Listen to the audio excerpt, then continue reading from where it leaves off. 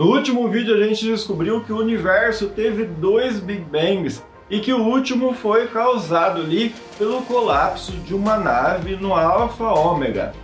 E que desse ponto em diante muitas coisas aconteceram, criaturas foram criadas, predadores surgiram, o Galactus emergiu da sua nave e chegamos ao momento então em que a Terra surgiu com seus deuses antigos aparecendo. Hoje a gente vai continuar a cronologia Marvel descobrir o que rolou dali em diante. Bora? Eu sou o Márcio Júnior, esse aqui é o Projeto Inocente, o espaço onde a gente conversa sobre livros, séries, filmes e HQs. E chegou a hora, então, da gente continuar com a cronologia Marvel. Vamos lá, rapidão para não enrolar? Pois é, a Yggdrasil surgiu. A Yggdrasil é a árvore dos mundos que conecta os diversos reinos ali que a gente conhece e diversas dimensões vizinhas. Ela basicamente é um campo de energia que mantém e conecta esses reinos e foi importantíssima para a criação dos deuses asgardianos, que a gente bem conhece. Esse ponto em diante, eles começam um ciclo que sempre se encerra com o que a gente chama de Ragnarok. É um ciclo, então ele sempre se repete: criação, Ragnarok, criação, Ragnarok.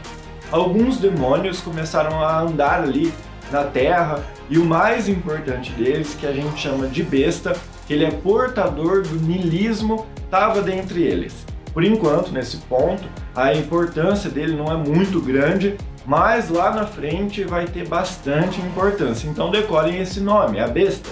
Um celestial que é chamado de o progenitor foi infectado pela horda, que é uma infecção senciente. E devido a isso, justamente devido a isso, ele acaba colidindo com a Terra e ele morre debaixo do gelo ártico. Ele vai ser o que a gente vai chamar nas futuras HQs de Celestial Zero, ok? Respirou? Então antes da gente prosseguir o rit e o ritmo acabar ficando mais frenético aqui, eu vou te lembrar de deixar teu like no vídeo. Depois a gente vai dar tão atordoado de tanta informação que aí não vai, a gente vai esquecer e então a gente vai prosseguir os fatos agora. Bora lá, respirou, já deixou seu like? Então vamos lá. Na galáxia Andrômeda, uma galáxia vizinha aqui da nossa, os celestiais realizaram experimentos genéticos eu falei sobre isso, né, que eles realizam experimentos genéticos no vídeo lá que eu deixei aqui no canal sobre os celestiais, eternos e deviantes. Eles realizam experimentos genéticos em muitas raças, na verdade. Eles fizeram isso em uma raça da galáxia Andrômeda, e essa raça, que era meio reptiliana, deu origem ao que a gente vai chamar de Skrulls, que são transmorfos, ou seja, eles podem mudar de forma, beleza? Os Skrulls são importantes em muitas, muitas histórias ali da Marvel e a sua pegada meio guerreira ali vai ameaçar a Terra no futuro. E os Nuali, que são alienígenas, vieram até a Terra e criaram na região antártica, daqui da Terra mesmo, uma espécie de reserva florestal. Lá eles guardaram as formas de vida da época, o que incluía então os dinossauros. Enquanto a fauna e a flora evoluía fora dali, né, essa reserva ficou sem evoluir, ficou intacta. O planeta Chandilar, uma raça meio humana, meio ave, que a gente chama de Shiar, começou a desenvolver uma cultura bastante puxada ali para a guerra.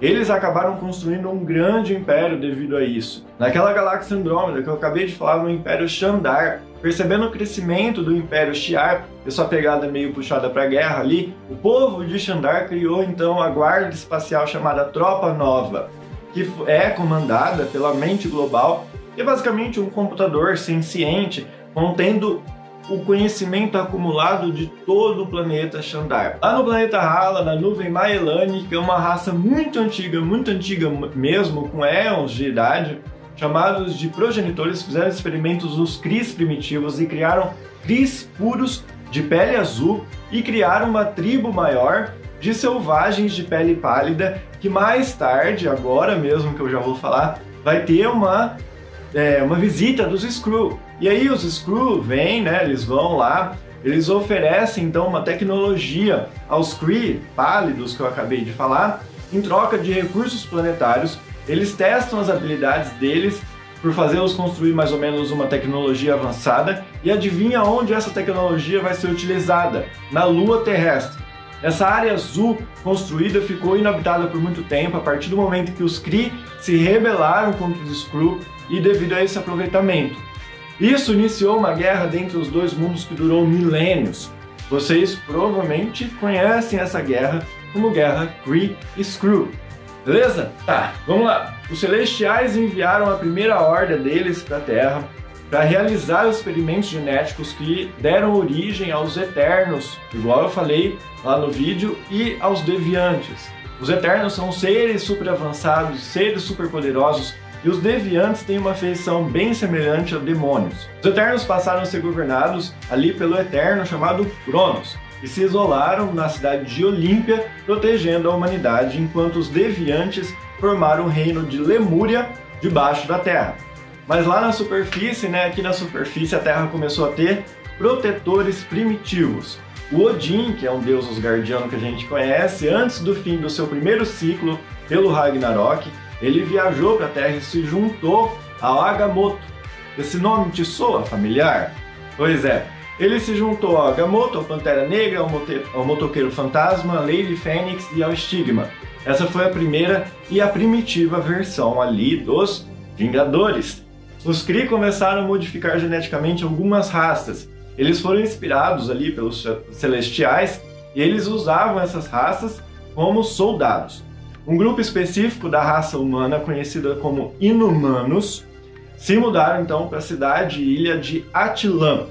Tá? Tuk, que é o primeiro descendente dos Inumanos ali, ele passou a viver dentre os meros mortais.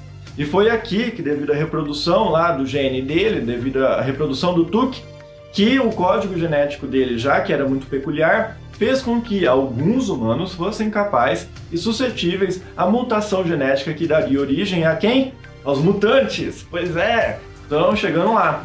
Os Plodex enviaram uma nave, uma bionave para cá, para a Terra, né? E começaram a fazer experimentos um humano encontrou a nave. Esse humano que encontrou a nave a gente vai chamar de Exu, né? E-S-H-U.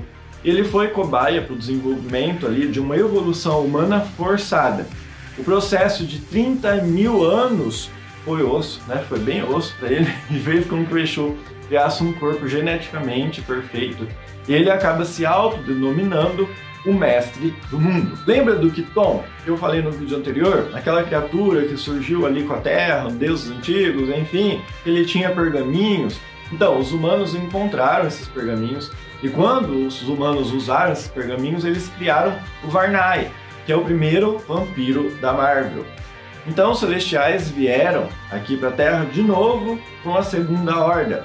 Eles julgam os experimentos que eles fazem, né? E eles chegaram à conclusão que os deviantes era a raça fracassada ali do experimento deles. Então os celestiais criaram um cataclisma gigantesco, é até redundante, né? Cataclisma gigantesco. Eles criaram esse cataclisma gigantesco que afundou a Lemúria e dentre as ondas ali deles, né, do, desse cataclisma, fez com que o continente de Atlantis fosse parar no fundo do oceano.